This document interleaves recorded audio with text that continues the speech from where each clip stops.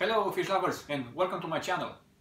Do you know that I have the same CO2 tank injecting CO2 into this tank for more than two and a half years? Let me show you guys how I do that.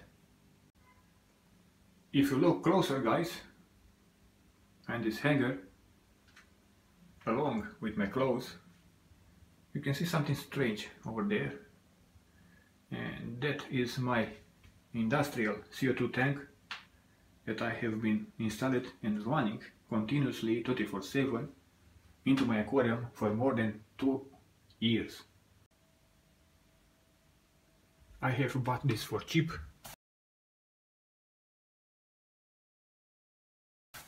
It was full of CO2. When I have bought it, the line was about here because it was really cold and the condensation line was about here so nearly full. I did bolt it to the wall keep it in place not to go anywhere. I don't want this to fall down. Who knows what can happen with such a large CO2 tank under pressure. And I can do some fine adjustment to the CO2 bubble count from here you can see it right over here how to increase or decrease the CO2 uh, bubble count. Right now it's going faster. And right now slower. And in here in this bubble counter I have added some uh, air conditioning oil. So this oil is here for two and a half years the first time I installed this I use it water and the water slowly disappears from here because it evaporates but oil does not. So this is why it's a maintenance free CO2 bubble counter. You just have to add some oil. It doesn't really have to be air conditioning oil. You can use cooking oil or something that you have around the house. Okay I do not know how long this tank will keep me because there is no way to figure out how, how much CO2 is left inside. If only I've weighed this uh, tank when I first bought it and, and bring it uh, in my house and weigh it again now, but I didn't do that so I can't really know for sure. Just for aesthetics reason I have installed this CO2 tank, this industrial CO2 tank right here in a corner along with my clothes and this hanger just to cover it up a little so it doesn't bother me at all.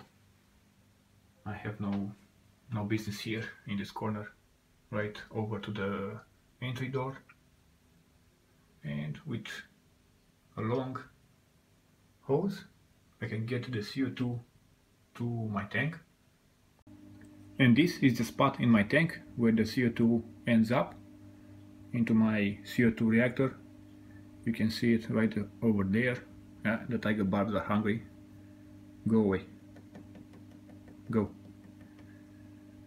So the bubbles slowly rise to the top and they slowly become smaller and smaller until they dissolve and the CO2 gets mixed with the water and along with my new uh, neon lights because the LED strips was not a good idea for my plants. I have a beautiful Anubias growth here. I have a lot of giant Vallisneria, is growing out again. I, I don't have any more plants now because of the driftwood in my tank.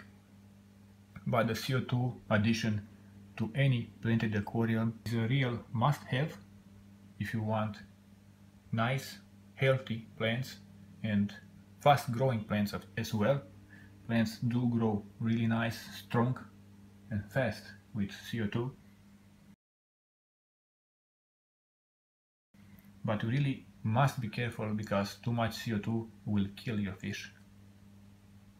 Uh, yeah, this is the reason guys that I have one CO2 tank that is running into this 400 liters tank for more than two and a half years. And I think it's going to run a lot more.